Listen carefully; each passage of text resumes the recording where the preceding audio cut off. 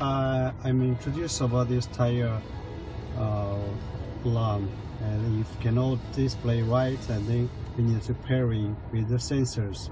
We press here for a long time and we choose. Yes we can see like this and then we back.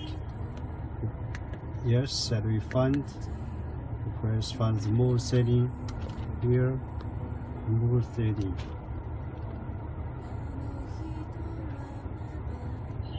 yes and then we enter inside I think you can find uh, this kind of uh, pairing data.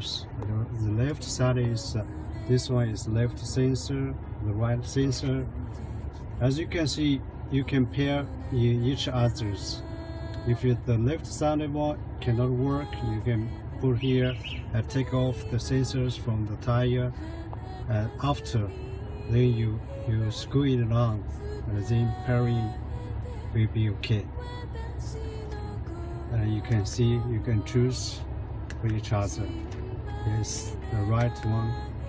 Yes like this. After you pairing you can go back